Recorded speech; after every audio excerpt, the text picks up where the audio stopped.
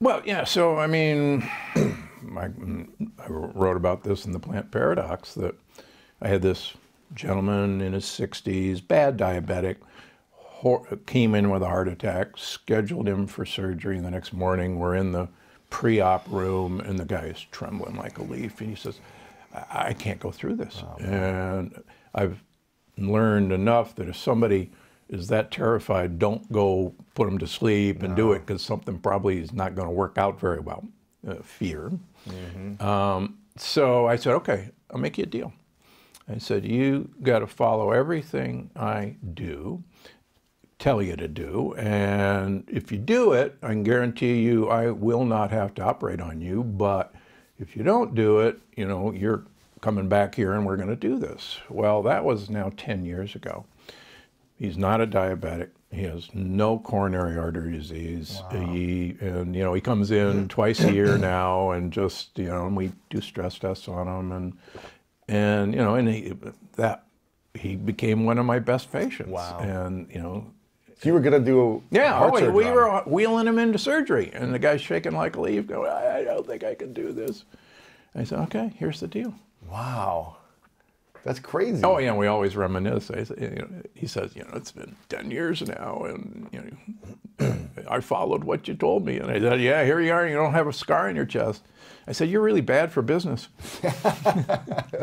so, what were the uh, what were the few things you told him that he went out and did? Was there like some specific exact things he did? Yeah. Um, well, I, I do this in in all my books. So, we're actually Jack, uh, my my staff always told me don't don't say this story because people get the wrong idea. Jack LaLanne, I got to know Jack LaLanne yeah. late, late in his life. Yeah. He was actually an advisor to our Arthritis Institute in Palm Springs, and so you know Jack was the godfather of fitness. I mean, mm-hmm. come on, let's give yeah. him his due. The juicer. Yeah, the, the juicer. That was his big mistake. But anyhow, so uh, Jack LaLanne used to have this expression: is that if it tastes good, spit it out. Mm-hmm. And my, you know, I obviously like to sell books, and my, you know, my staff said, don't say that, because then they think they're going to eat twigs and weeds, and it's going to taste awful, and you know, you got to eat bad tasting food. Well, that's not what he meant. He actually meant that you should not be eating for this two inch by three inch piece of muscle, your tongue but you should be eating for the microbiome, for the bacteria and all the other cute little viruses that actually live in your gut, live in your mouth, live on your skin. And if you eat for them, they will take care of you because mm-hmm. you are actually their home. Mm-hmm. We're merely a condominium for bugs. And, and how many bugs do we have on our body or in so, us? Yeah, we have well over a hundred trillion uh, bacteria, and since the Human Microbiome Project was, you know, finished about five years ago now, I mean, we didn't know that these guys really existed. Um, in fact, I was, uh, I was on my podcast, the Dr. Gundry podcast. We had Dr. David uh, Kessler, who was head of the FDA mm. in the Reagan years who made the um, guidelines for the labels, the labeling laws on the back of packages that you know show mm-hmm. saturated mm-hmm. fats and carbohydrates. And the labels, by the way, if we get into this, are completely wrong. Um, they were forced on the Reagan administration by big food companies. Wow. And so, anyhow, you if you feed bacteria what they want to eat, and that's is all in the longevity paradox, they will take care of you. They will not, they'll take care of the wall, the lining of your gut, and they, you will not actually age, mm. which is kind of cool. So if you take care of, of them, of the bugs in your body, you will not age. Right. So you got a hundred wow. trillion bacteria. You have over 10,000 different species of bacteria. And just last year, they discovered another thousand. So who knows? Right. So 99% of the genetic material that exists in you and me is non-human genetic material. Wow. We're only our genes are actually so unimportant. It's kind of humorous. and when people take a family history, what they're actually finding out is if you if your parents taught you how to eat, and most people's parents teach the kids how to eat, and your parents had diabetes, or your parents had high blood pressure, or your parents had coronary artery disease, and you eat like your parents did, the odds are that you will do that. Right. For two reasons the food choices that you made, but more importantly, you inherited your bacteria from your parents and actually your siblings. And So it's not the genes of your parents that mean you are susceptible to heart disease or um, Alzheimer's or whatever, right? It's not the genes of your parents. It's typically the the foods they ate that you're probably eating the exact same foods that cause the same type of problems. Correct.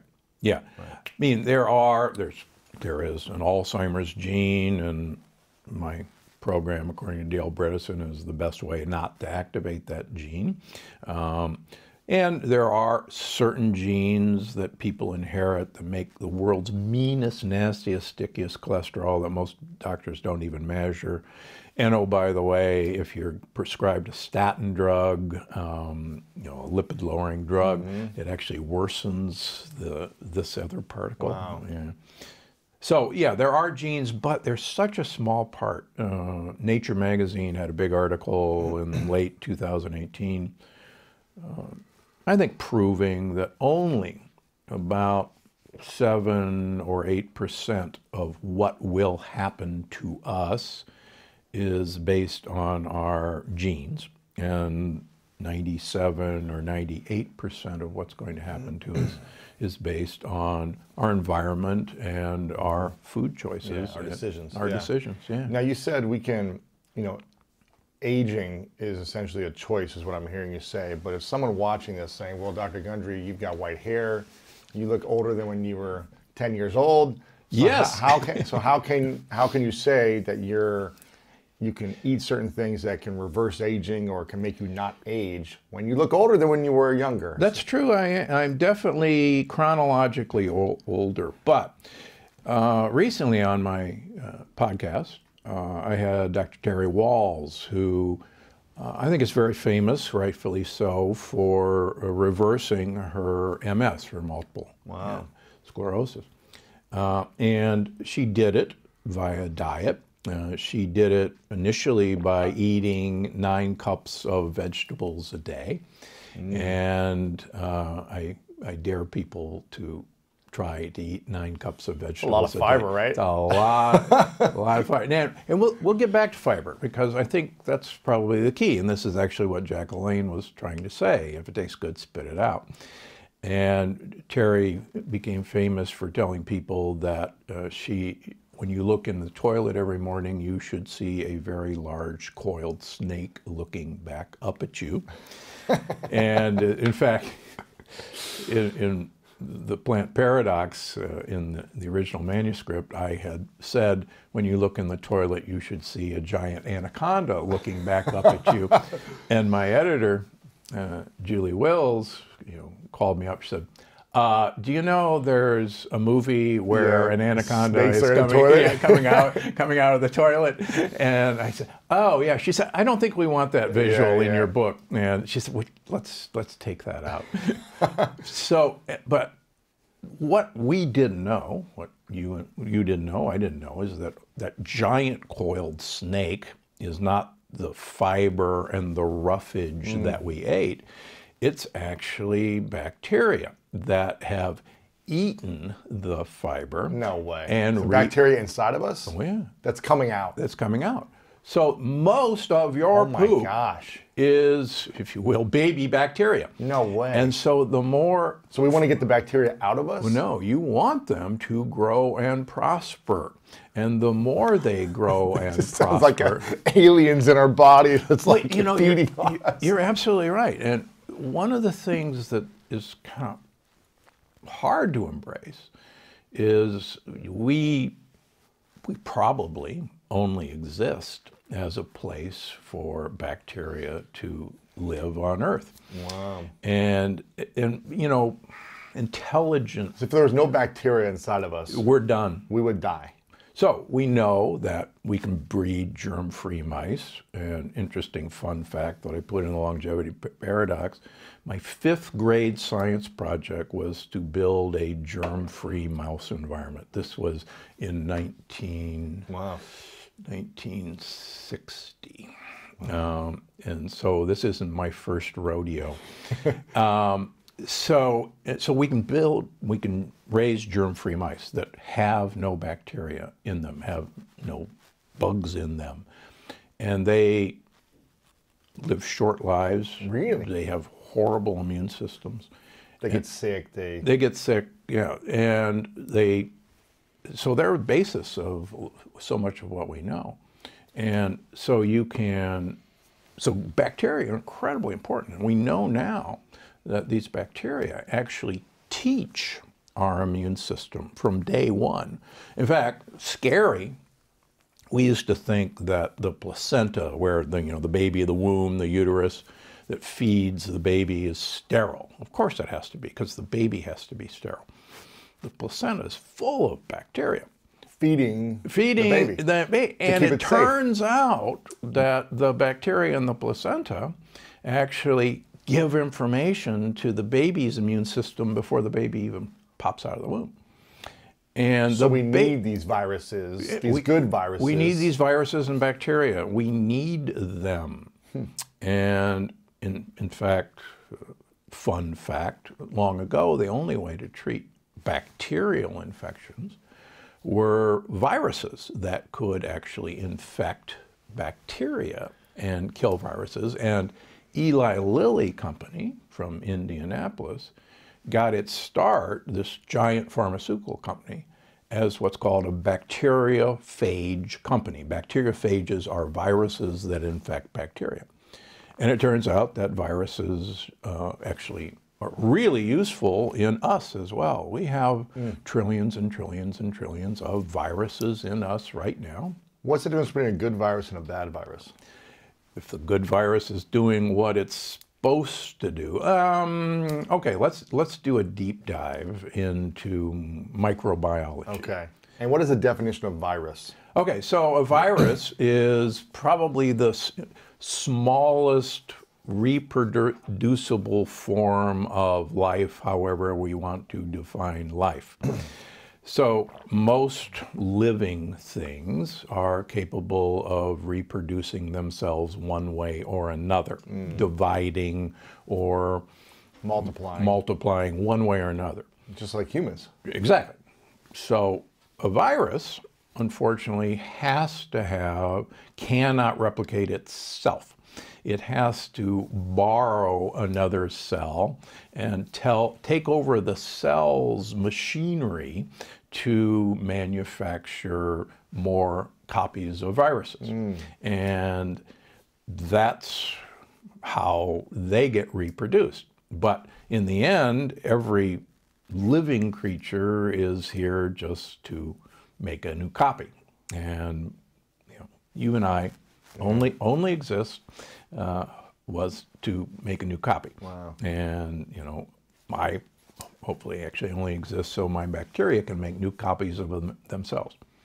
Uh, I'm a I'm a condominium for my inhabitants. Duplication, yeah. And if if they're happy and I'm a good landlord to them, they will keep the place nice and Yeah. they actually would like me to stick around a very long time because I'm their home.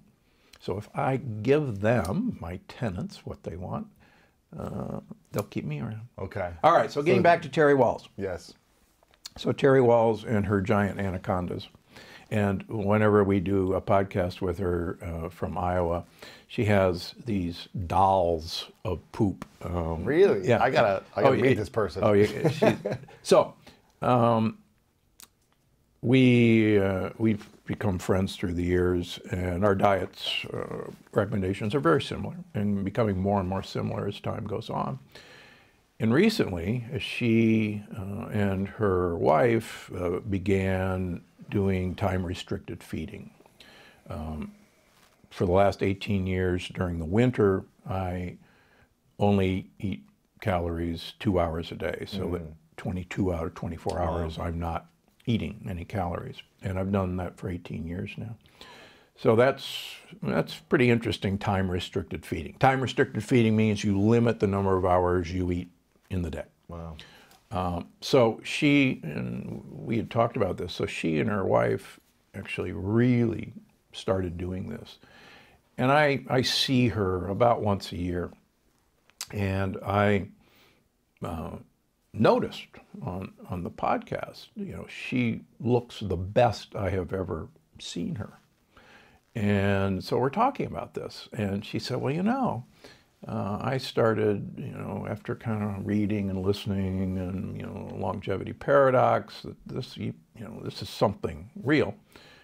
And it's uh, not just me, other people have done this. Um, and we started doing it. And I started doing it. And then my wife said, you know, uh, there's something here. I'm going to join you. And they have kids. And now they, he, she's saying, our kids have noticed that we are getting younger. And and I said, well, you know, this you're right. I said because you know I've known you through the years, and you clearly are you know younger now than when I knew you a few years ago. And she said, yeah, our kids notice, and they're calling us you know Benjamin Button uh, because we're de-aging. So. I think this whole anti-aging thing is wrong. I think it is really quite possible to de-age. And as I talk about in the longevity paradox, what's fascinating is that, and you can prove this in animal models, that you age as your microbiome changes, number one, but more importantly, the, the wall of your gut is should be impermeable, even though it's only one cell thick.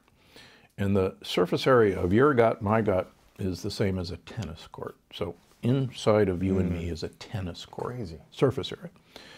And the problem is that that wall of our gut is only one cell thick. And these cells are held together with uh, tight junctions. Uh, best example for anyone who's no longer young is Red Rover, Red Rover, which Sure. we all played as a kid, Yeah. where we locked arms and people ran across, and a big guy like I always you ran through. Oh, Oh, yeah. let's go. Oh yeah, and you're the guy, you know, and the two, Break two- the yeah, the two girls. Ah, here comes Lewis. Ah, and they don't get to play that in school anymore. By the way, it's too dangerous. Oh, right. Yeah, Kids get hurt because now. of people like you. so they're all locked arm in arm, and as long as they're locked arm in arm, all those you know 100 trillion bacteria and all the other toxins stay on their side of the wall.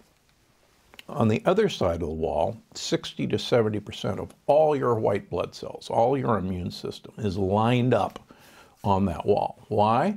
Because that's basically the border. And if your invading army is coming through the border, mm-hmm. you want a guy you got you want to have your army on the other side. And what's cool is as long as that wall is intact, you do not age. Mm. But as that wall becomes leaky, and that's the whole story of Leaky the gut, leaky leaky- gut, Yeah.